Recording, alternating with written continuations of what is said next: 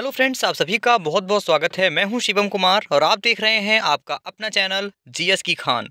तो जीएस की खान में आप सभी का स्वागत है। तो फ्रेंड्स आज की इस क्लास में हम डिस्कस करने वाले हैं आपके साथ में आपके एग्ज़ाम के लिए वर्ल्ड जियोग्राफी यानी कि विश्व भूगोल से संबंधित कुछ बहुत ही महत्वपूर्ण प्रश्न। तो आज की इस क्लास में आपके लिए विश्व भूगोल से संबंधित क्वेश्चन को डिस्कस करेंगे। तो आशा करेंगे फ्रेंड जो क्लास है, आप सब लोग इसको सपोर्ट करेंगे शेयर करेंगे और अपने क्लास में मैक्सिमम स्टूडेंट्स को लाइव लेकर के भी आएँगे। चलिए फ्रेंड शुरू करते हैं आज की क्लास को और देखते हैं आज का पहला क्वेश्चन अगर आपको क्लास अच्छी लगे, पसंद आए तो लाइक कीजिएगा।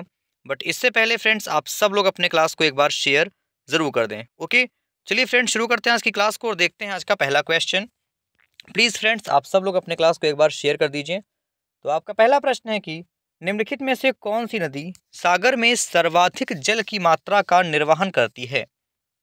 बताइए। आपके ऑप्शंस दिए गए हैं, नील, अमेजन मिसिसपी मिसौरी या टेम्स। कमेंट करें। चलिए तो अगर हम बात करें आपके इस क्वेश्चन के आंसर की तो जिनका भी आंसर ऑप्शन नंबर बी आ रहा है, बिल्कुल सही उत्तर है। तो अमेजन नदी जो है, सागर में सबसे अधिक जल की मात्रा का निर्वहन करती है। इसके अलावा जो अमेजन नदी है, पेरू में रियो मोन्तारो नामक स्थान से निकलती है, आपको याद रखना है। अगर बात करें अमेजन नदी की लंबाई की तो छः हज़ार नौ सौ बानबे किलोमीटर इसकी लंबाई है, सिक्स नाइन नाइन टू, ठीक है? छः हज़ार नौ सौ बानबे किलोमीटर इसकी लंबाई है और इसका जो जो जल प्रवाह तंत्र है लगभग सत्तर लाख पचास हज़ार वर्ग किलोमीटर के क्षेत्र में फैला हुआ है। क्लियर? तो ऐसे में जिनका भी आंसर ऑप्शन नंबर बी आ रहा है, बिल्कुल सही उत्तर है उनका। चलिए, देखते हैं इस क्लास का फ्रेंड्स हम फटाफट से अगला क्वेश्चन सारे क्वेश्चन आपको हम कोशिश करेंगे डिटेल में पढ़ाने की। बस आप लोग अपने क्लास को सपोर्ट करिएगा ओके डियर फ्रेंड्स आपका अगला क्वेश्चन आपके सामने है कि निम्नलिखित में से कौन सी पर्वत श्रृंखला यूरोप में स्थित नहीं है? तो बताइए फ्रेंड्स कि इनमें से कौन सी पर्वत श्रृंखला यूरोप में स्थित नहीं है? आपके ऑप्शंस हैं ओपिनिने पर्वत श्रृंखला पायरनीज पर्वत श्रृंखला सियरे नेवादा पर्वत श्रृंखला, ये एल्प्स पर्वत श्रृंखला। तो इनमें से कौन सी पर्वत श्रृंखला यूरोप में स्थित नहीं है, बताइए।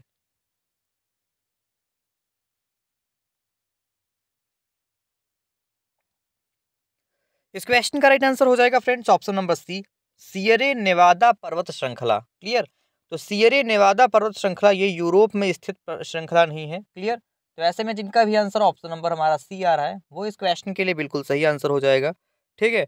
चलिए, इसके अलावा अगर हम बात करें शेरे नेवादा पर्वत श्रृंखला की, ठीक है? तो इसकी कुल लंबाई कितनी है? तो इसकी कुल लंबाई जो है केवल सॉरी छः सौ पचास सॉरी छः सौ चालीस किलोमीटर है, ठीक है? पूर्व से पश्चिम तक इसकी लंबाई एक सौ दस किलोमीटर है। पूर्व से पश्चिम तक एक सौ दस किलोमीटर और उत्तर से दक्षिण तक छः सौ चालीस किलोमीटर। क्लियर तो ऐसे में जिनका भी answer friends option number C आ रहा है, वो इस प्रश्न के लिए बिल्कुल सही उत्तर है। चलिए, हम देखते हैं इस क्लास का अगला प्रश्न। अगला प्रश्न के निम्नलिखित में से किस क्षेत्र को डोल्ड्रम पेटी कहा जाता है? तो ध्रुवीय क्षेत्र, उपोष्ण कटिबंधीय क्षेत्र, समशीतोष्ण क्षेत्र भूमध्य रेखीय क्षेत्र, बताइए, कि इनमें से किस क्षेत्र को डोल्ड्रम पेटी कहा जाता है?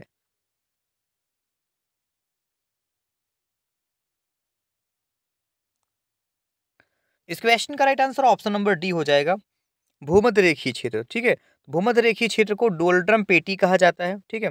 इसके अलावा भूमध्य रेखा करती क्या है? तो आपको पता है कि भूमध्य रेखा पृथ्वी को दो समान भागों में बांटती है। तो कौन सी रेखा पृथ्वी को दो समान भागों में बांटती है?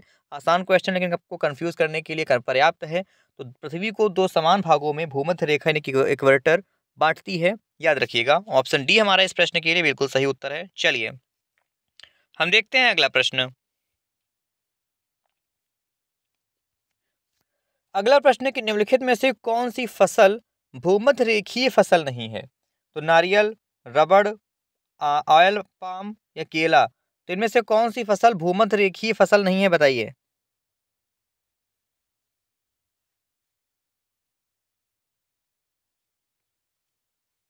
इस क्वेश्चन का right answer option number D हमारा हो जाएगा आंसर केला, ठीक है? तो कौन सी फ़सल भूमध्य रेखीय फ़सल नहीं? है तो केला है, यह हमारी भूमध्य रेखीय फ़सल नहीं है क्लियर ऑप्शन डी जिनका भी आंसर आ रहा है, बिल्कुल सही उत्तर है उनका, ठीक है? इसके अलावा भूमध्य रेखीय फ़सलें होती कौन कौन सी हैं? तो रबड़ मिर्च, नारियल, कोको, ये सभी हमारी भूमध रेखी फ़सल होती हैं। केला हमारा भूमध रेखी फ़सल नहीं है। ओके, चलिए, हम देखते हैं इस क्लास का अगला प्रश्न।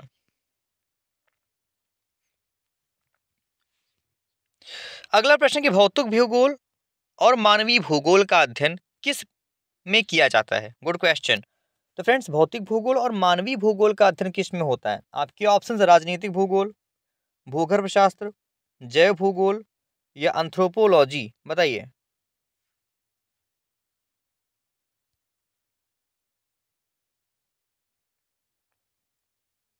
इस क्वेश्चन का राइट आंसर हो जाएगा ऑप्शन नंबर सी जैव भूगोल, ठीक है? तो भौतिक भूगोल और मानवीय भूगोल का अध्ययन जैव भूगोल में किया जाता है क्लियर इसमें जिनका भी आंसर ऑप्शन नंबर सी आ रहा है, बिल्कुल सही उत्तर है उनका।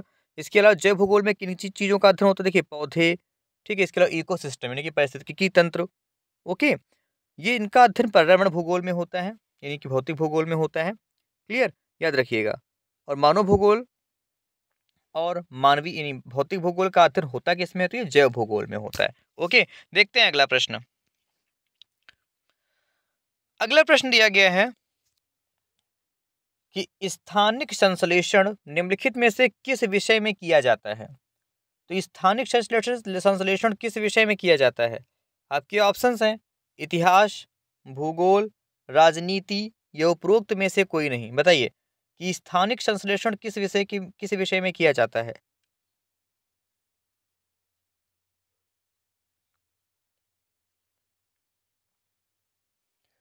ऑप्शन नंबर बी, भूगोल। ठीक है, स्थानिक संश्लेषण किसके बीच किया जाता है? भूगोल में किया जाता है। ठीक है, इसके अलावा वैज्ञान, भूगोल में वैज्ञानिक तकनीक के द्वारा भौगोलिक विशिष्टता का भी अध्ययन होता है। ठीक है तो भौगोलिक विशिष्टता का अध्ययन, स्थानिक संश्लेषण का अध्ययन, ये सभी भूगोल के अंतर्गत होते हैं जियोग्राफी के अंतर्गत। क्लियर तो ऐसे में अगर आप फ्रेंड्स अपने इस आंसर इस क्वेश्चन का आंसर ऑप्शन नंबर बी चुने हुए हैं तो ये बिल्कुल सही आंसर हो जाएगा आपके लिए। ठीक है? चलिए, हम देखते हैं इस क्लास का फ्रेंड्स फटाफट से अगला प्रश्न।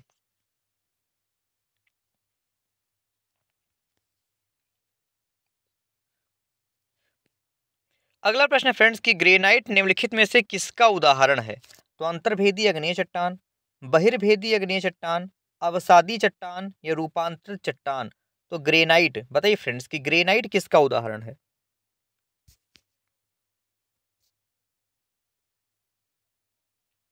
चलिए, अगर हम बात करें इसके आंसर की तो ग्रेनाइट जो है, अंतर्भेदी अग्नेय चट्टान का उदाहरण होती है। किसका फ्रेंड्स तो ये अंतर्भेदी अग्नि चट्टान का उदाहरण होती है ग्रेनाइट, ठीक है? इसके अलावा यह जो चट्टान होती है, दानेदार होती है, ठीक है? और इसका 20 से 60 परसेंट जो भाग होता है, वो क्वार्ट्स से बना होता है। किसे? क्वार्ट्स से बना होता है क्वार्ट्स क्लियर?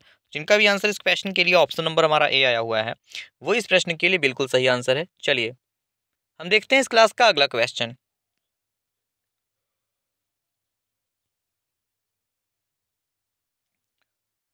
अगला प्रश्न है कि पृथ्वी की गहराई में अंदर जाने पर दबाव, पृथ्वी की गहराई में अगर अंदर की तरफ़ जाते हैं हम तो दबाव क्या होता है? बढ़ता है, घटता है, समान रहता है या उपरोक्त में से कोई नहीं? तो पृथ्वी की गहराई में अंदर जाने पर जो दबाव होता है वो क्या होता है?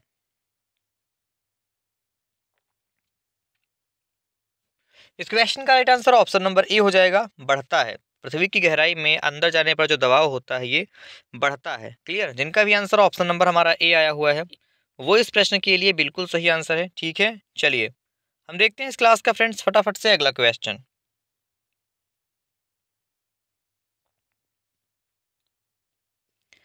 अगला प्रश्न फ्रेंड्स की मेडिसिन रेखा को अन्य किस नाम से जाना जाता है? सत्तरहवीं उत्तरी समांतर, उनतालीसवीं उत्तरी समांतर, उनचासवीं उत्तरी समांतर ये उनसठवां उत्तरी समांतर तो मेडिसिन रेखा तो मेडिसिन रेखा को अन्य किस नाम से जानते हैं, बताइए?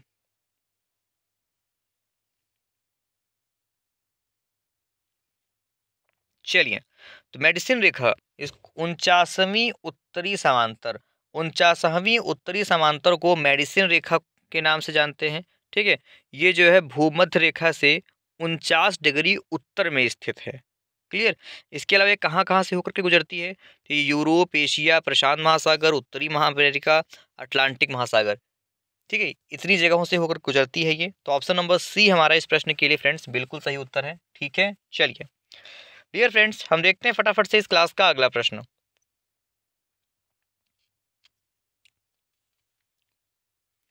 अगला प्रश्न फ्रेंड्स की ओल्ड फैथफुल नामक गर्म पानी का झरना किस देश में स्थित है? तो कनाडा, अमेरिका, स्पेन, मोरक्को, बताइए। ओल्ड फैथफुल नामक गर्म पानी का झरना किस देश में स्थित है, बताइए।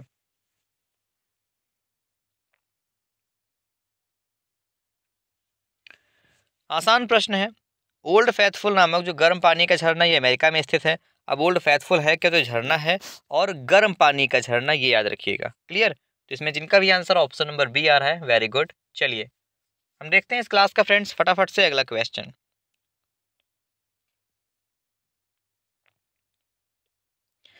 अगला प्रश्न, तटीय वन निम्नलिखित में से किनका किनका से किनका उत्तम साधन है? बताइए। जो तटीय वन है, ये किनका उत्तम साधन है? यानी कि कौन सी चीज़ वहाँ पे प्रचुर मात्रा में पाई जाती है? आपके ऑप्शन है बाँस, ईंधन, लकड़ी, ईंधन की लकड़ी, इमारती लकड़ी या चारा। बताइए कि तटीय वन किनका उत्तम साधन है?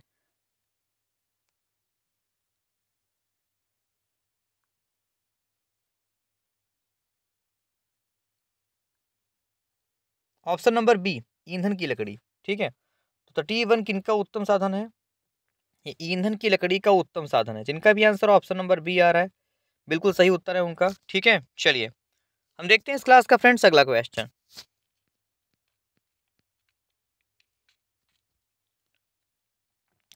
अगला प्रश्न फ्रेंड्स की अनातोलिया नामक स्थान किस महाद्वीप में स्थित है?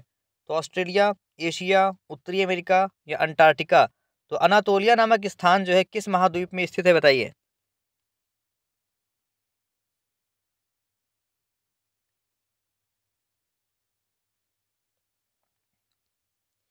इस क्वेश्चन का राइट आंसर हो जाएगा हमारा ऑप्शन नंबर बी एशिया। ठीक है तो अनातोलिया नामक स्थान जो है, एशिया में स्थित है। ये तुर्की के केंद्रीय भाग का हिस्सा है। तो अनातोलिया है तुर्की के केंद्रीय भाग का हिस्सा है, ठीक है। इसके दक्षिण में तरुष पर्वत आता है, दक्षिण में इसके तरुष पर्वत आता है, याद रखिएगा। ठीक है, अनातोलिया के दक्षिण में तरुस पर्वत आता है, उत्तर में काला सागर आता है उत्तर में काला सागर आता है, पश्चिम में ईजियन सागर आता है, याद रखिएगा पश्चिम में जो है ईजियन सागर आता है, ठीक है, और पूर्व में माउंट अरारत स्थित है, ओके, ये चीज़ें याद रखिएगा आप लोग तो इसमें जिनका भी आंसर इस क्वेश्चन के लिए ऑप्शन नंबर बी आया हुआ है, वो फ्रेंड्स हमारा बिल्कुल सही उत्तर है, चलिए, हम देखते हैं इस क्लास का अगला प्रश्न। अगला प्रश्न आमतौर पर विश्वत रेखा के निकट स्थित महाद्वीपों के पश्चिम में क्या पाया जाता है? तो आमतौर पर विश्वत रेखा के निकट स्थित महाद्वीपों के पश्चिम में क्या पाया जाता है? आपके ऑप्शन है, पर्वत, मरुस्थल, नदियाँ या झीलें। बताइए।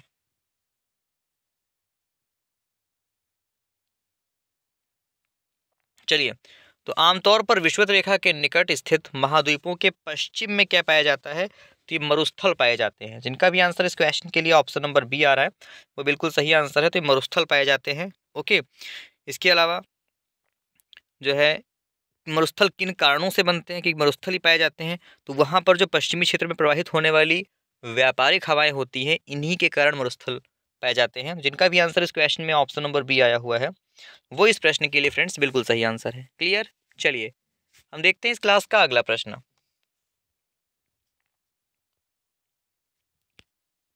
अगला प्रश्न उत्तरी गोलार्ध में शीतकालीन उत्तरायण किस तिथि को होता है?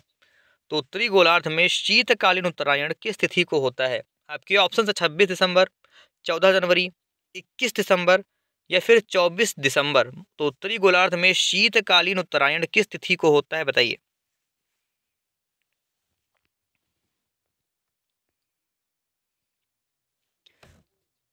इस क्वेश्चन का right answer option number C हो जाएगा इक्कीस दिसंबर, ठीक है? तो इक्कीस दिसंबर को वर्ष का सबसे छोटा दिन होता है, ठीक है? ओके तो जिनका भी आंसर ऑप्शन नंबर सी आया हुआ है, वो इस क्वेश्चन का बिल्कुल सही आंसर है क्लियर चलिए, हम देखते हैं इस क्लास का फ्रेंड्स फटाफट से अगला प्रश्न। आप लोग अपने क्लास को शेयर करते रहिए। अगर आपको फ्रेंड्स क्लास के क्वेश्चन एक्सप्लेनेशन अच्छी लग रही हो, हम आपसे रिक्वेस्ट करेंगे बार बार कि प्लीज़ आप सब लोग अपने क्लास को शेयर करते रहिए ओके चलिए, हम देखते हैं अगला प्रश्न। अगला प्रश्न, जो पवनें अपनी दिशा नहीं बदलती, उन्हें क्या कहा जाता है? तो स्थायी पवनें, व्यापारिक पवनें, ग्रही पवनें या स्थानीय पवनें? बताइए कि जो पवनें जो पवनें अपनी दिशा नहीं बदलती हैं, इनको क्या कहा जाता है?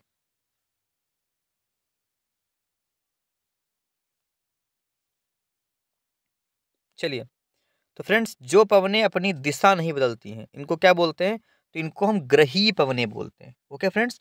तो जो पवनें अपनी दिशा नहीं बदलती हैं, इनको हम ग्रही पवनें कहते हैं, ठीक है? ऑप्शन नंबर सी इनका, जिनका भी आंसर आया हुआ है, वो इस क्वेश्चन के लिए बिल्कुल सही आंसर है, क्लियर? चलिए, हम देखते हैं इस क्लास का अगला प्रश्न।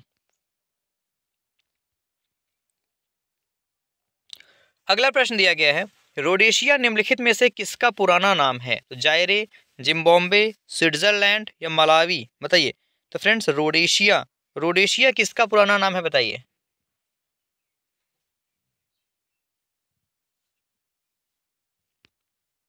तो रोडेशिया जिम्बाब्वे का पुराना नाम है। किसका फ्रेंड्स? तो रोडेशिया जो है, जिम्बाब्वे का पुराना नाम है। तो जिनका भी आंसर इस क्वेश्चन के लिए ऑप्शन नंबर बी आ रहा है, वो हमारा इस प्रश्न के लिए बिल्कुल सही आंसर हो जाएगा, ठीक है?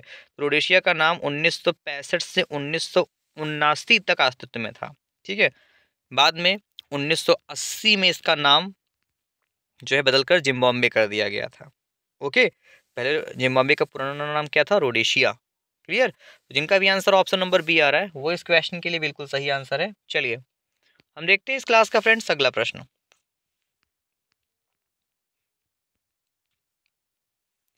अगला प्रश्न फ्रेंड्स कि ध्रुवीय ज्योति के दृश्यमान होने का कारण क्या है? तो ध्रुवीय ज्योति के दृश्यमान होने का कारण क्या है? ऑप्शन है आपके सौर पवने ओजोन परत, रेडियो तरंगे या आयन मंडल। तो ध्रुवीय ज्योति के दृश्यमान होने का कारण क्या है बताइए।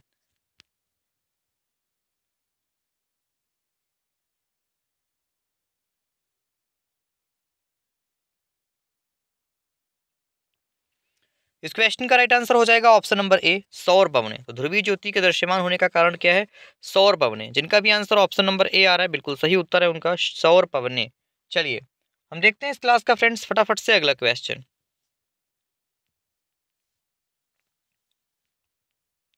अगला प्रश्न फ्रेंड्स कि निम्नलिखित में से ब्रह्मपुत्र नदी का स्रोत क्या है? बताइए फ्रेंड्स कि इनमें से ब्रह्मपुत्र नदी का स्रोत क्या है?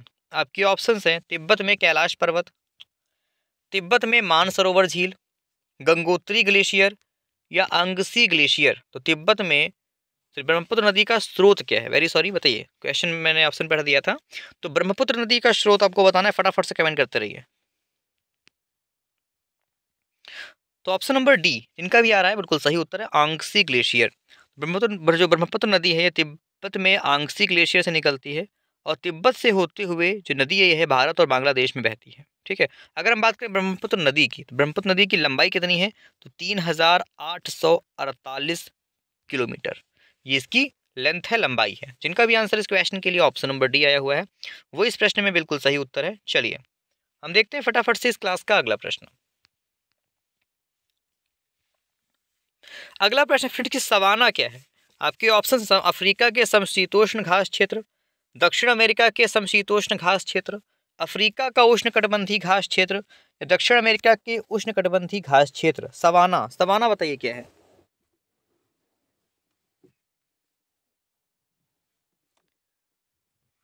इस क्वेश्चन का right answer option number C हो जाएगा। अफ्रीका का उष्णकटिबंधीय घास क्षेत्र, सवाना क्या है? तो फ्रेंड्स अफ्रीका का उष्णकटिबंधीय घास क्षेत्र जो इसको सवाना कहते हैं।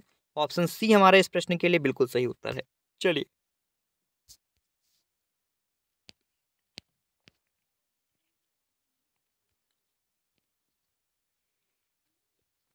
अगला प्रश्न पतझड़ ऋतु में दिन और रात कब होते हैं? बताइए, पतझड़ ऋतु में दिन और रात कब होते हैं? आपके ऑप्शन हैं, इक्कीस मार्च, इक्कीस जून, तेईस दिसंबर या इक्कीस दिसंबर, बताइए।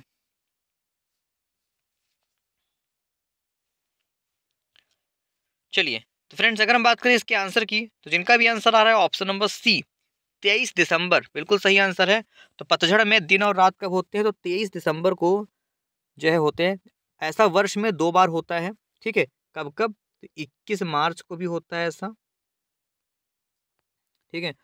और तेईस दिसंबर को भी होता है, ठीक है? लेकिन इसमें दोनों ऑप्शन हमको मिल रहे हैं। तो इक्कीस मार्च और तेईस दिसंबर दोनों याद रखिएगा, ठीक है? ऑप्शन को हटा दीजिए। दोनों ऑप्शन सही हो रहे हैं हमारे। क्लियर? चलिए, हम देखते हैं इस क्लास का अगला क्वेश्चन आप लोग प्लीज़ फ्रेंड्स अपने क्लास को सपोर्ट करने के लिए क्लास को शेयर करते रहिए। ठीक है? चलिए, हम देखते हैं इस क्लास का फ्रेंड्स अगला प्रश्न। तो अगला प्रश्न आपके सामने है फ्रेंड्स की, पायरोक्लास्टिक के बारे में निम्नलिखित में से कौन सा कथन सही है? चलिए बताइए कि पैरोक्लास्टिक के बारे में इसका सत्य कथन कौन सा है? आपके ऑप्शंस हैं, ज्वालामुखी से निकलने वाले पदार्थ से निर्मित चट्टाने, ज्वालामुखी से निकलने वाली गैर नुकसानदायक गैस, लावा या मैगमा। तो पैरोक्लास्टिक के बारे में कौन सा कथन सही है बताइए?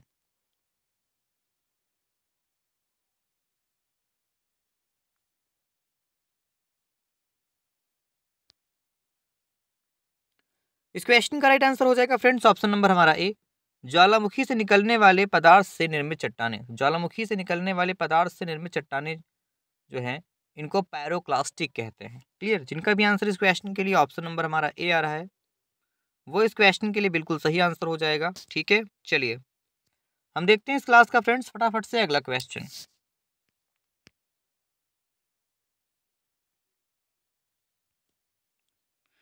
अगला प्रश्न दिया गया फ्रेंड्स की, किसी बल के कारण दो चट्टानों के आपस में टकराने को क्या कहा जाता है? तो किसी बल के कारण दो चट्टानों के आपस में टकराने को क्या कहते हैं? आपके ऑप्शन हैं घर्षण, अपर्दन सूर्यताप या एकाकीपन। फटाफट से बताइए कि किसी बल के कारण दो चट्टानों के आपस में टकराने को क्या कहा जाता है?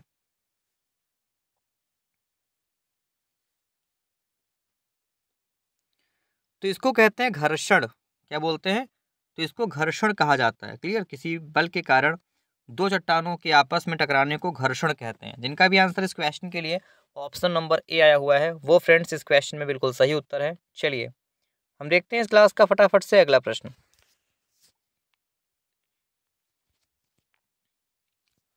अगला प्रश्न निम्नलिखित में से की नदी का ज्वार नदमुख सबसे लंबा है। तो निम्नलिखित में से डैश की नदी पे डैश खाली जगह है।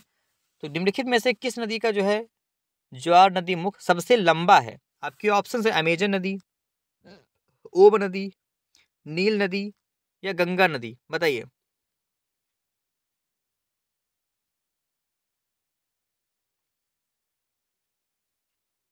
चलिए। इस क्वेश्चन का right answer option number B हो जाएगा, ओब नदी। ठीक है? तो ओब नदी कहाँ से निकलती है? ये कहाँ की प्रमुख नदी है? तो ओब नदी जो है फ्रेंड्स ये रूस के पश्चिमी साइबेरिया की प्रमुख नदी है, ठीक है? और विश्व की सातवीं सबसे लंबी नदी है। विश्व की सातवीं सबसे लंबी नदी है, तीन हज़ार छः सौ पचास किलोमीटर इसकी कुल लंबाई है। क्लियर? तो जिनका भी आंसर फ्रेंड्स इस क्वेश्चन के लिए ऑप्शन नंबर हमारा बी आया हुआ है, वो इस क्वेश्चन में बिल्कुल सही आंसर हो जाएगा, ठीक है? चलिए, हम देखते हैं इस क्लास का फ्रेंड्स, फटाफट से अगला प्रश्न। अगला प्रश्न, फ्रेंड्स, कि भूकंप के केंद्र का अर्थ क्या होता है? तो आरंभिक विदर का स्थान, आरंभिक विदार से ठीक ऊपर ज़मीन पर स्थित बिंदु, भूकंप के चारों ओर का स्थान, या भूकंप से प्रभावित समस्त भौगोलिक क्षेत्र। तो भूकंप के केंद्र का अर्थ क्या होता है, बताइए?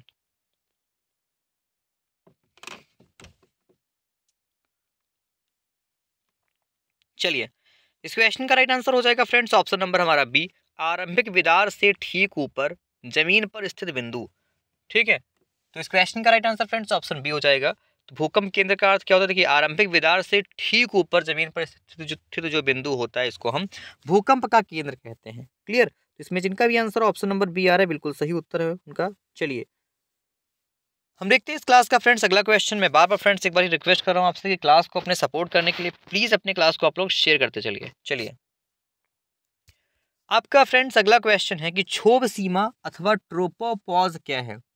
तो क्षोभ सीमा अथवा ट्रोपोपॉज क्या है? आपके ऑप्शंस दिए गए हैं, पृथ्वी की भूपरपट्टी पर आंतरिक सीमा, क्षोभ मंडल और समताप मंडल के बीच की सीमा, कर्क रेखा व मकर रेखा और भूमध्य रेखा की सीमा, या पृथ्वी के वायुमंडल की सबसे गहरी सीमा। तो फ्रेंड्स क्षोभ मंडल या ट्रोपोपॉज क्या होता है बताइए।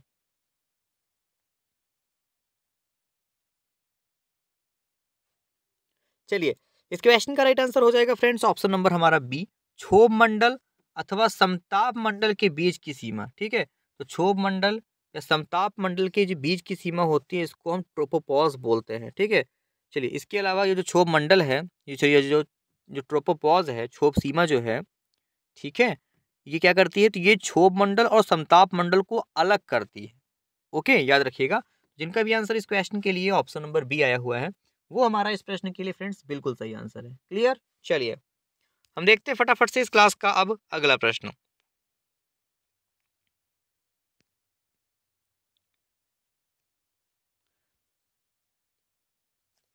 अगला प्रश्न फ्रेंड्स कि निम्नलिखित में से असत्य कथन को चुनिए। तो मक्की मूल रूप से अमेरिकी फ़सल है। ब्राज़ील, वियतनाम, कोलंबिया और इंडोनेशिया कॉफ़ी के प्रमुख उत्पादक हैं। भारत और बांग्लादेश पटसन के प्रमुख उत्पादक देश हैं। शहतूत भारत में कपास की एक किस्म है। तो इनमें से कौन सा कथन हमारा असत्य है, गलत कथन कौन सा है, बताइए।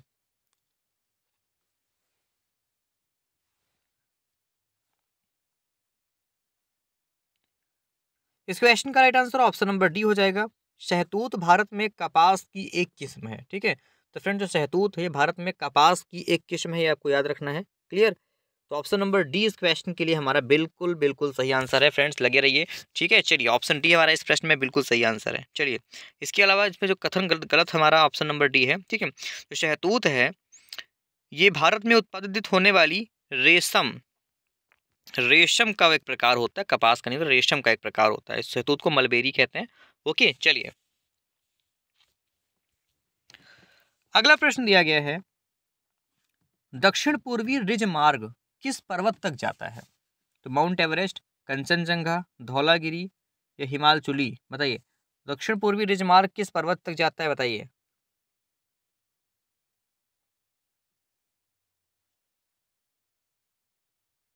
चलिए, इस क्वेश्चन का राइट आंसर ऑप्शन ही होगा, माउंट एवरेस्ट। क्लियर दक्षिण पूर्वी जो रिज मार्ग है ये, माउंट एवरेस्ट तक जाता है। ओके जिनका भी आंसर ऑप्शन नंबर ए आ रहा है, बिल्कुल सही उत्तर है उनका।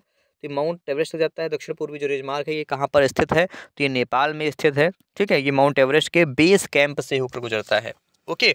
तो ऑप्शन नंबर हमारा इस प्रश्न के लिए बिल्कुल सही आंसर है, क्लियर? चलिए, हम देखते हैं इस क्लास का फ्रेंड्स, फटाफट से अगला क्वेश्चन।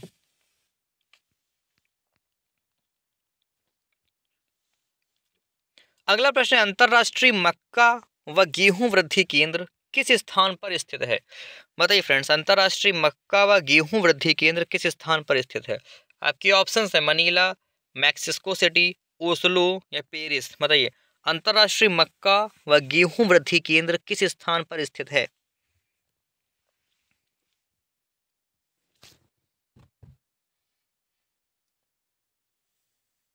चलिए, इस क्वेश्चन का राइट आंसर हो जाएगा फ्रेंड्स ऑप्शन नंबर हमारा बी मैक्सिस्को सिटी। क्लियर तो अंतर्राष्ट्रीय मक्का व गेहूँ वृद्धि केंद्र मैक्सिस्को सिटी में स्थित है। जिनका भी आंसर ऑप्शन नंबर हमारा डी आ रहा है, बी आ रहा है, वो इस क्वेश्चन के लिए बिल्कुल सही आंसर हो जाएगा, ठीक है? चलिए, हम देखते हैं इस क्लास का फ्रेंड्स अगला क्वेश्चन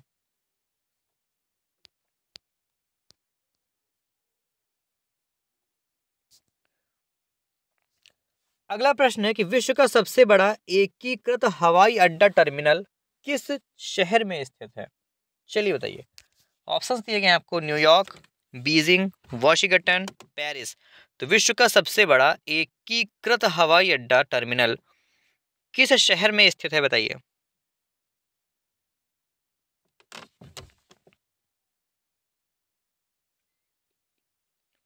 चलिए इस क्वेश्चन का राइट आंसर ऑप्शन नंबर हमारा बी हो जाएगा, बीजिंग। तो विश्व का सबसे बड़ा एकीकृत हवाई अड्डा टर्मिनल जो है ये बीजिंग में स्थित है। जिनका भी आंसर ऑप्शन नंबर बी आ रहा है इस क्वेश्चन के लिए, वो इस क्वेश्चन का बिल्कुल सही आंसर है, ठीक है? चलिए, हम देखते हैं इस क्लास का फ्रेंड्स फटाफट से अगला क्वेश्चन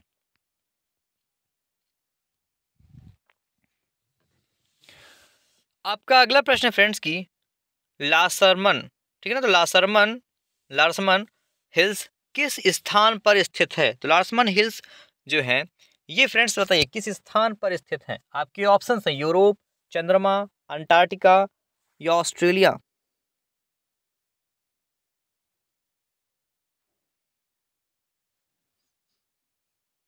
इस क्वेश्चन का right answer option number C हो जाएगा, अंटार्कटिका। क्लियर तो लासरमन जो हिल्स हैं, ये अंटार्कटिका में स्थित हैं। जिनका भी आंसर इस क्वेश्चन के लिए ऑप्शन नंबर सी आ रहा है वेरी गुड चलिए, हम देखते हैं इस क्लास का फ्रेंड्स फटाफट से अगला क्वेश्चन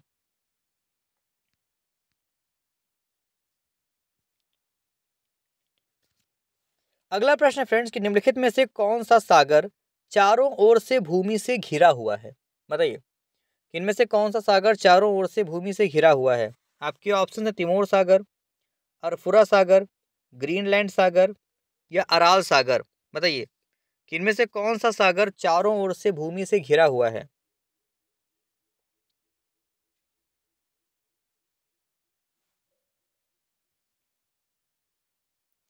चलिए। इस क्वेश्चन का राइट आंसर हो जाएगा ऑप्शन नंबर डी अराल सागर। ठीक है? तो फ्रेंड जो अराल सागर है, ये कजाकिस्तान और उज्बेकिस्तान के बीच में स्थित है। ओके? और ये सागर जो है, अड़सठ हज़ार वर्ग किलोमीटर के क्षेत्र में फैला हुआ है। क्लियर तो इस क्वेश्चन में फ्रेंड्स जिनका भी आंसर ऑप्शन नंबर हमारा डी आया हुआ है, वो इस प्रश्न के लिए बिल्कुल सही उत्तर है। चलिए। तो डियर फ्रेंड्स हम देखते हैं इस क्लास का फटाफट से अगला क्वेश्चन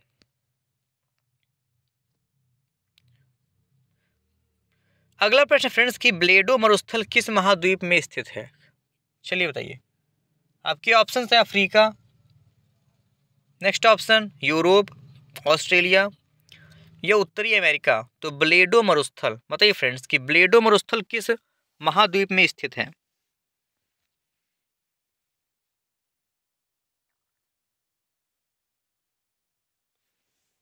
इस क्वेश्चन का right answer option number B हो जाएगा। यूरोप क्लियर तो ब्लेडो मरुस्थल यूरोप में स्थित है।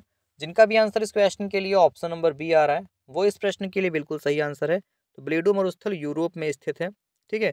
यूरोप के पोलैंड में है, ओके?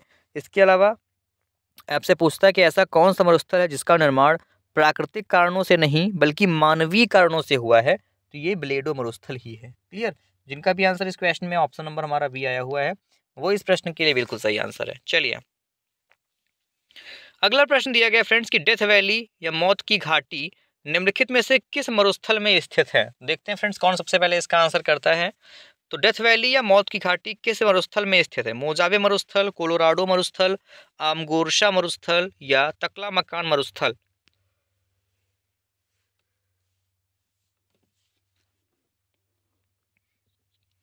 इस क्वेश्चन का राइट आंसर हो जाएगा हमारा ऑप्शन नंबर ए मोजावे मरुस्थल। क्लियर तो डेथ वैली या मौत की घाटी, जो मरुस्थल है ये, मोजावे मरुस्थल में स्थित है। क्लियर जिनका भी आंसर ऑप्शन नंबर ए आ रहा है, बिल्कुल सही उत्तर है उनका। ठीक है जो मरुस्थल है लगभग एक लाख चौबीस हज़ार वर्ग किलोमीटर में फैला हुआ है। ठीक है, ये अमेरिका के कैलिफ़ोर्निया में है। चलिए, देखते हैं इस क्लास का अगला प्रश्न।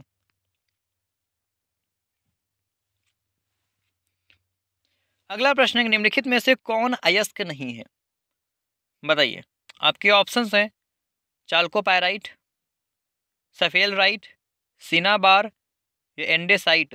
बताइए, इनमें से कौन सा अयस्क नहीं है?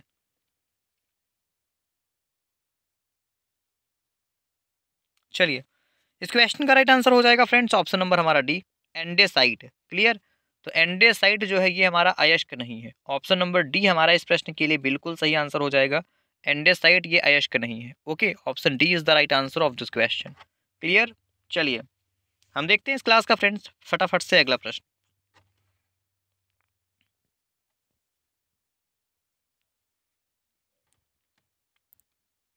अगला प्रश्न के निम्नलिखित में से गलत जोड़े को चुनिए। तो Benin Porto Novo Bulgaria, Sofia, Colombia, Bogota, Costa Rica, Cartago. तो इनमें से कौन सा हमारा गलत जोड़ा है बताइए।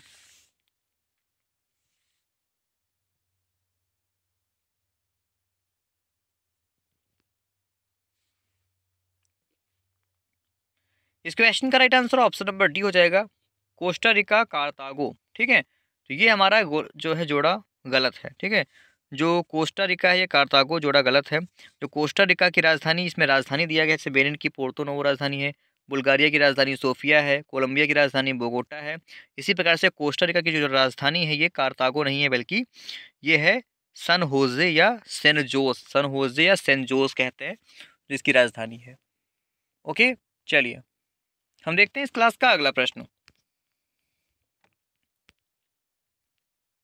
अगला प्रश्न निम्नलिखित में से कौन सा जलडमरु मध्य अमेरिका को रूस से अलग करता है? तो फ्रेम जलडमरु मध्य मैक्यूल्योर जलडमरु मध्य, सिमी योस्ट्रोस्टडी रीड या बेरिंग जलडमरु मध्य। तो कौन सा जलडमरु मध्य अमेरिका को रूस से अलग करता है, बताइए।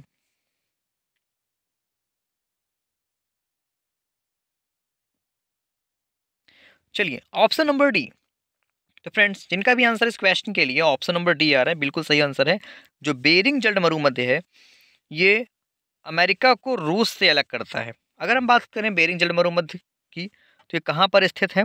तो ये प्रशांत महासागर में और प्रशांत महासागर में स्थित है। ओके, किसको अलग करता है? तो अमेरिका और रूस को अलग करता है। क्लियर तो जिनका भी आंसर इस क्वेश्चन के लिए ऑप्शन नंबर डी आ रहा है, बिल्कुल सही उत्तर है उनका। चलिए हम देखते हैं इस क्लास का फ्रेंड्स फटाफट से अगला प्रश्न।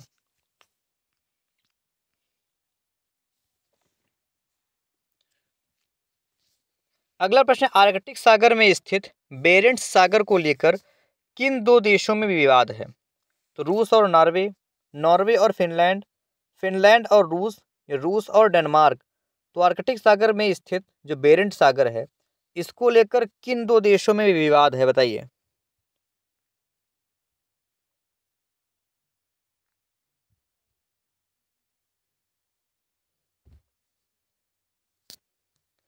इस क्वेश्चन का राइट आंसर हो जाएगा ऑप्शन नंबर ए रूस व नॉर्वे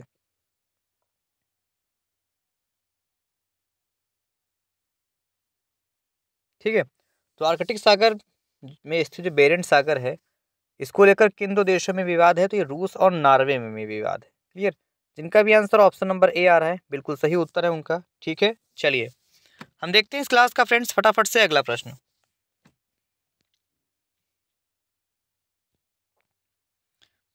अगला प्रश्न है, बसंत व नीप ज्वार में कितना समय अंतराल होता है? चलिए फ्रेंड्स कमेंट करिए फटाफट से। कि बसंत और नीप ज्वार में कितना समय अंतराल होता है?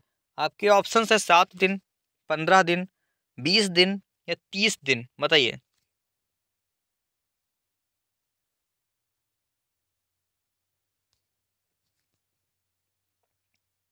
इस क्वेश्चन का राइट आंसर हो जाएगा फ्रेंड्स ऑप्शन नंबर हमारा ए सात दिन। क्लियर तो बसंत और नीप ज्वार में सात दिन का अंतर होता है। क्लियर?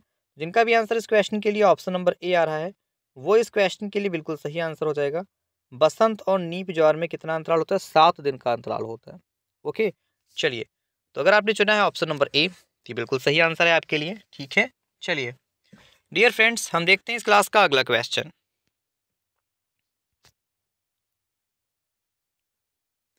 अगला प्रश्न दिया गया है कि निम्नलिखित में से कौन से टीले सबसे दुर्लभ होते हैं? बताइए फ्रेंड्स कि कौन से टीले सबसे दुर्लभ होते हैं? आपके ऑप्शंस हैं।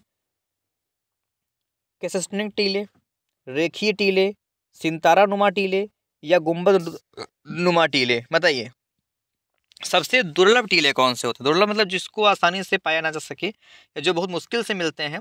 तो इन प्रकार के जो टीले होते हैं, कहाँ होते हैं? ये कौन से टीले होते हैं?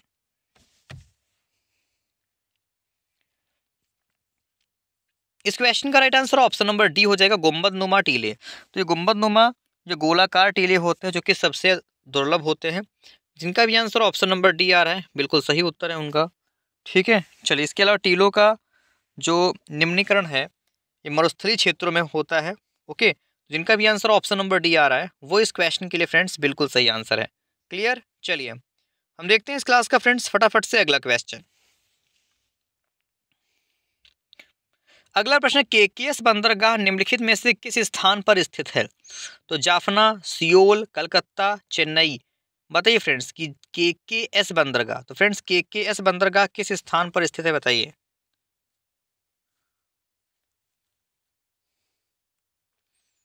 इस क्वेश्चन का राइट आंसर हो जाएगा friends option number A, Jaffna. तो के के एस बंदरगाह जाफना नामक स्थान पर स्थित है। क्लियर इसके अलावा ऑप्शन नंबर ए जिनका भी आंसर आ रहा है, बिल्कुल सही उत्तर है उनका। चलिए। हम देखते हैं इस क्लास का फ्रेंड्स फटाफट से अगला क्वेश्चन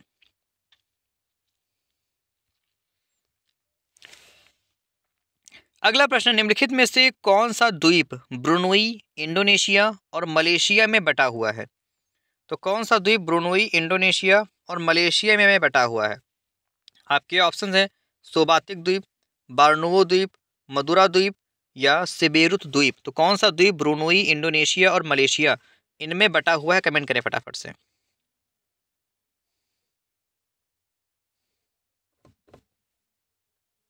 चलिए, इस क्वेश्चन का राइट आंसर हो जाएगा फ्रेंड्स ऑप्शन नंबर बी ए सेवातिक द्वीप। एक सेकेंड इंडोनेशिया, ब्रुनोई, इंडोनेशिया और मलेशिया में कौन सा बटा हुआ है? ऑप्शन नंबर ए नहीं, बल्कि डी सही हो जाएगा सिबेरु द्वीप। कौन सा फ्रेंड्स जो सिबेरु द्वीप है।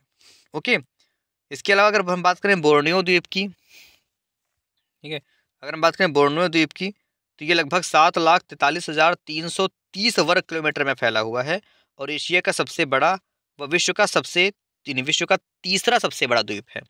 ओके? तो ऐसे में जिनका भी आंसर ऑप्शन नंबर डी आ रहा है, वो इस क्वेश्चन के लिए फ्रेंड्स बिल्कुल सही आंसर है। चलिए, हम देखते हैं इस क्लास का फ्रेंड्स फटाफट से अगला क्वेश्चन आप लोग प्लीज़ फ्रेंड्स अपने क्लास को शेयर कर दीजिए, ठीक है? आधे से ज़्यादा क्लास आपकी हो चुकी है तो प्लीज़ आप सब लोग अपने क्लास को फ्रेंड्स शेयर कर दीजिए। चलिए।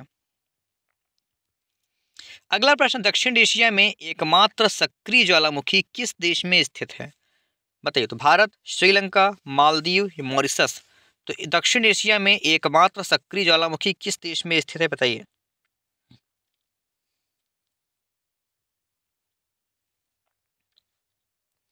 इस क्वेश्चन का राइट आंसर हो जाएगा फ्रेंड्स ऑप्शन नंबर हमारा ए भारत, ठीक है? तो दक्षिण एशिया में एकमात्र सक्रिय ज्वालामुखी किस देश में है? तो ये भारत में है, ठीक है? भारत के अंडमान द्वीप समूह में है, ठीक है? इसके अलावा किस द्वीप में? तो बेरन द्वीप में। अंडमान द्वीप समूह के बेरन द्वीप में भारत का एकमात्र सक्रिय ज्वालामुखी है, जिनका भी आंसर इस क्वेश्चन में फ्रेंड्स ऑप्शन नंबर ए आया हुआ है। वो इस प्रश्न का बिल्कुल सही उत्तर है, ठीक है? चलिए, हम देखते हैं इस क्लास का अगला क्वेश्चन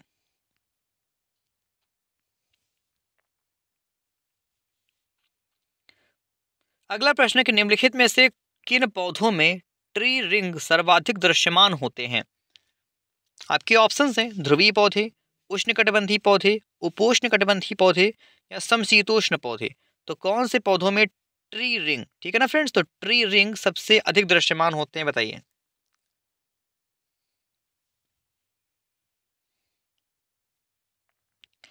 इस क्वेश्चन का राइट आंसर हो जाएगा फ्रेंड्स ऑप्शन नंबर डी समशीतोष्ण पौधे, ठीक है? समशीतोष्ण पौधों में ट्री रिंग सबसे अधिक दृश्यमान होते हैं ओके चलिए, जिनका भी आंसर ऑप्शन डी आ रहा है, बिल्कुल सही उत्तर है उनका। चलिए फ्रेंड्स हम देखते हैं फटाफट से इस क्लास का अगला क्वेश्चन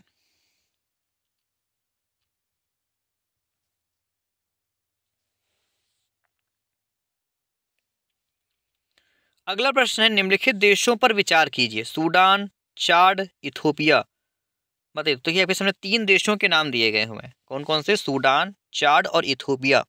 आपको बताना है कि उपरोक्त में से किस देश की दक्षिणी सीमा मिस्र से लगती है। बताइए तो आपके ऑप्शन हैं केवल एक केवल एक और दो, केवल एक और तीन, या उपरोक्त में से कोई नहीं? बताइए।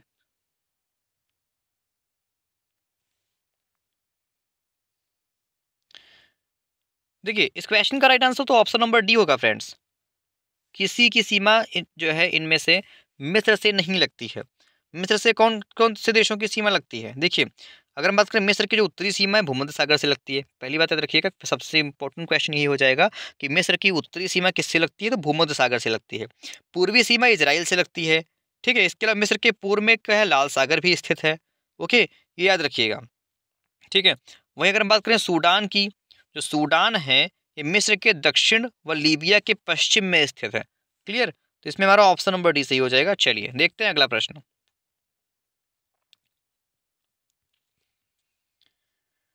अगला बहुत आसान प्रश्न है फ्रेंड्स कि विश्व का सबसे शुष्क स्थान कौन सा है? चलिए बताइए फ्रेंड्स कि विश्व का सबसे शुष्क स्थान कौन सा है?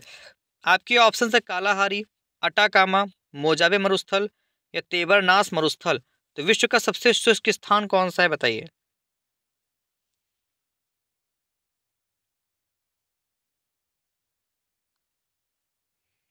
इस क्वेश्चन का राइट आंसर हो जाएगा फ्रेंड्स ऑप्शन नंबर हमारा बी अटाकामा, ठीक है?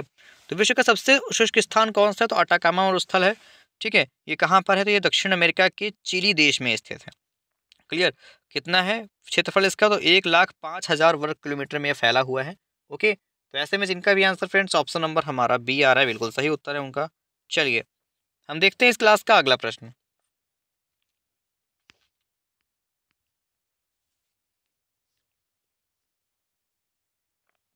अगला प्रश्न है कि समशीतोष्ण घास के क्षेत्रों को क्या कहा जाता है? चलिए बताइए, कि समशीतोष्ण घास के क्षेत्रों को क्या कहते हैं? आपके ऑप्शन हैं, मध्य एशिया में स्टेपी, उत्तरी अमेरिका में प्रेरी, दक्षिण अमेरिका में वेल्ड। अब बताइए, इनमें से कौन से कथन सही हैं? एक और दो, एक और तीन, दो और तीन, या फिर एक, दो और तीन?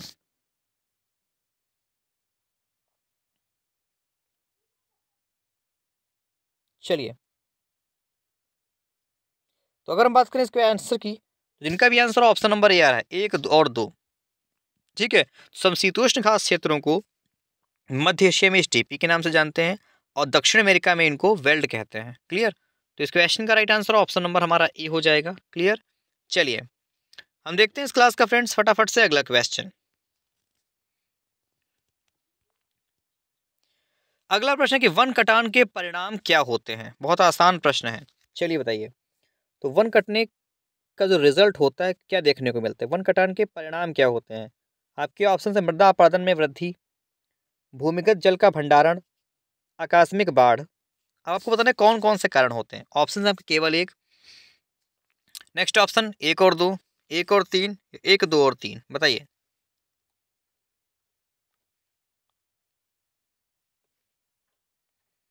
चलिए, इस क्वेश्चन का राइट आंसर हो जाएगा फ्रेंड्स, ऑप्शन नंबर बी। एक और दो क्लियर तो वन कटान के परिणाम क्या होते हैं? एक और दो। ऑप्शन नंबर बी जिनका भी आंसर आ रहा है, वो हमारा इस क्वेश्चन के लिए बिल्कुल सही आंसर हो जाएगा, ठीक है? चलिए, हम देखते हैं इस क्लास का फ्रेंड्स फटाफट से अगला क्वेश्चन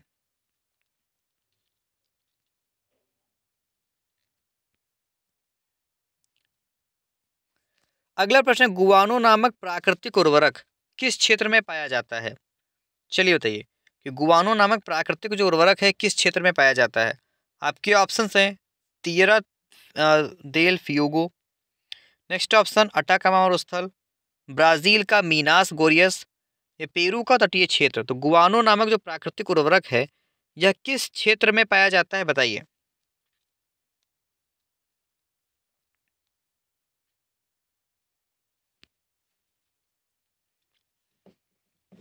चलिए। तो इस क्वेश्चन का राइट आंसर हो जाएगा फ्रेंड्स ऑप्शन नंबर हमारा डी पेरू का तटीय क्षेत्र, जिनका भी आंसर ऑप्शन नंबर डी आ रहा है, वो फ्रेंड्स हमारा इस क्वेश्चन के लिए बिल्कुल सही आंसर हो जाएगा। तो गुवानो नामक जो प्राकृतिक उर्वरक है, ये पेरू के तटीय क्षेत्र में पाया जाता है। क्लियर जिनका भी आंसर ऑप्शन नंबर हमारा डी आ रहा है, वो इस क्वेश्चन के लिए बिल्कुल सही आंसर हो जाएगा। इसके अलावा गुवानो नामक उर्वरक में नाइट्रेट की मात्रा जो सबसे ज़्यादा होती है, जो कि भूमि के लिए सबसे अधिक उर्वरक हो के रूप में सिद्ध होती है, उपजाऊ होती है ऑप्शन नंबर डी हमारा इस प्रश्न के लिए, फ्रेंड्स, बिल्कुल बिल्कुल सही उत्तर है। ठीक है? चलिए, हम देखते हैं इस क्लास का अगला प्रश्न। अगला प्रश्न है कि जिब्राल्टर जल मरुमध्य किन दो देशों को अलग करता है? तो फ्रेंड्स, आपका अगला क्वेश्चन है कि जिब्राल्टर जल मरुमध्य किन दो देशों को अलग करता है? ऑप्शन आपके पुर्तगाल और मोरक्को, मोरक, अल्जीरिया और स्पेन। नेक्स्ट ऑप्शन है मोरक्को और स्पेन या अल्जीरिया और पुर्तगाल। बताइए फ्रेंड्स आपके ऑप्शंस आपके सामने हैं। इस क्वेश्चन का राइट आंसर क्या होगा? कमेंट करें फटाफट से। तो फ्रेंड्स आप अपने इस क्वेश्चन का जो आंसर है अपने होमवर्क में देंगे। ठीक है फ्रेंड्स तो इस क्वेश्चन का आंसर आपको अपने होमवर्क में देना होगा कि इसका राइट आंसर क्या होगा। क्लियर चलिए फ्रेंड्स हम देखते हैं आपके लिए फटाफट से इस क्लास का अगला प्रश्न। अगला प्रश्न फ्रेंड्स कि 99 ईस्ट रिज नामक जलमग्न ज्वालामुखी कटक, किस महासागर में स्थित है? अच्छा क्वेश्चन नाइन्टी नाइन ईस्ट नामक जलमग्न ज्वालामुखी किस महासागर में स्थित है? आपके ऑप्शंस दिए गए फ्रेंड्स प्रशांत महासागर अटलांटिक महासागर, हिंद महासागर या आर्कटिक महासागर। कमेंट करें।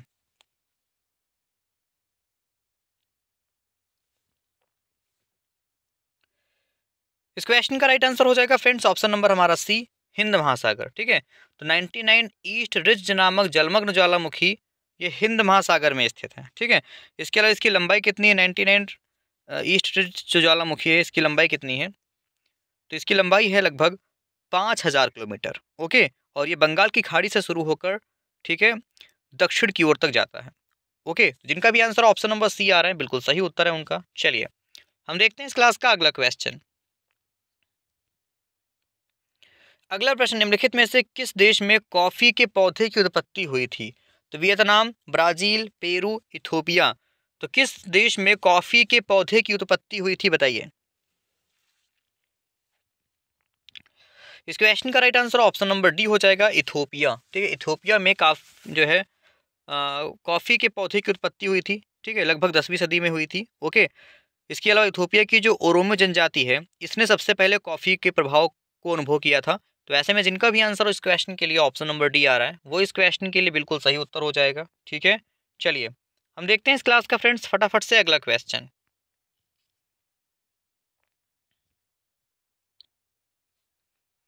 अगला प्रश्न, एल नीनो शब्द किस भाषा से लिया गया है? तो अरबी, फ्रेंच, स्पेनिश, पुर्तगाली। एल नीनो तो एल नीनो शब्द किस भाषा से लिया गया है, बताइए?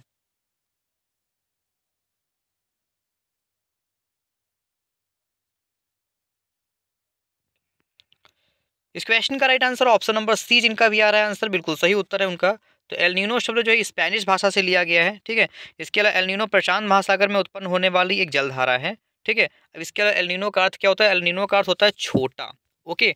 जिनका भी आंसर इस क्वेश्चन के लिए ऑप्शन नंबर सी आ रहा है, बिल्कुल सही उत्तर है उनका, ठीक है? चलिए, हम देखते हैं इस क्लास का फ्रेंड्स फटाफट से अगला प्रश्न।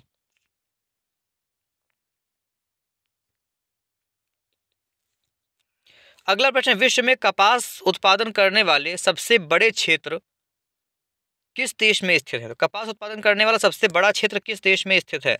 चीन, भारत, अमेरिका, पाकिस्तान। कमेंट करें।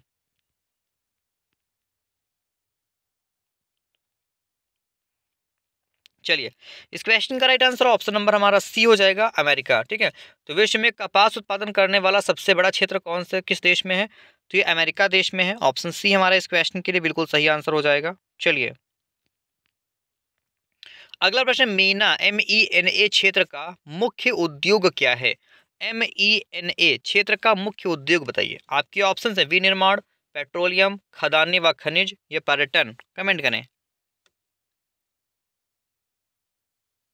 चलिए, अगर हम बात करें फ्रेंड्स इस क्वेश्चन के राइट आंसर की तो जिनका भी आंसर हो, इस क्वेश्चन में ऑप्शन नंबर बी आ रहा है।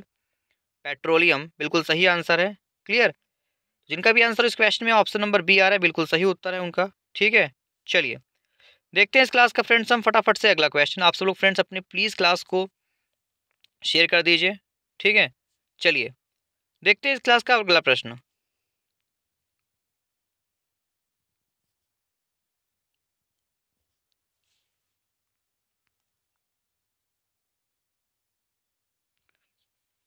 अगला प्रश्न, ब्रिटेन और अर्जेंटीना के बीच निम्नलिखित में से किस द्वीप को लेकर के विवाद है? बताइए।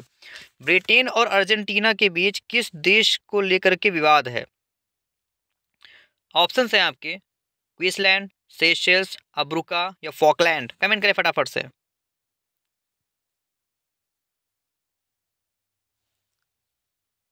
चलिए। तो फ्रेंड्स, अगर हम बात करें इस क्वेश्चन के राइट आंसर की तो जिनका भी आंसर ऑप्शन नंबर डी आ रहा है फॉकलैंड बिल्कुल सही आंसर है ठीक है? चलिए ऑप्शन नंबर डी जिनका भी आंसर आ रहा है बिल्कुल सही उत्तर है उनका चलिए। देखते हैं इस क्लास का अगला क्वेश्चन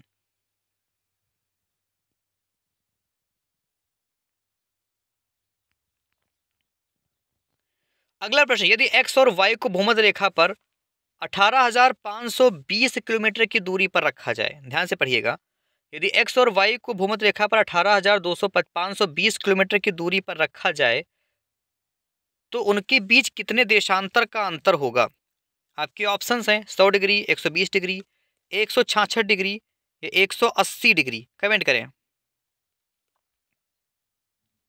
चलिए तो अगर हम बात करें इस क्वेश्चन के आंसर की, ठीक है? तो फ्रेंड्स इसमें कितना अंतर होगा? तो फ्रेंड्स ये आपको याद रखना है, लगभग एक सौ डिग्री का अंतर होगा। चलिए। अगला प्रश्न है फॉकलैंड द्वीप को लेकर किन दो देशों के बीच विवाद है? बताइए। तो अभी डिस्कस किया गया था फॉकलैंड ऊपर वाले क्वेश्चन में कि फॉकलैंड द्वीप को लेकर के अर्जेंटीना और ब्रिटेन के मध्य विवाद है। ओके अभी ऊपर डिस्कस भी किया गया था इस क्वेश्चन को। तो ऑप्शन नंबर डी हमारा इस प्रश्न के लिए बिल्कुल सही आंसर है। चलिए। अगला प्रश्न, निम्नलिखित में से कौन सी पर्वत श्रृंखला विश्व की सबसे लंबी पर्वत श्रृंखला है? तो रॉकीज उत्तरी अमेरिका एंडीज दक्षिण अमेरिका ट्रांस अंटार्कटिका श्रेणी या महान विभाजक पर्वतमाला ऑस्ट्रेलिया। तो कौन सी पर्वत श्रृंखला विश्व की सबसे लंबी पर्वत श्रृंखला है, बताइए?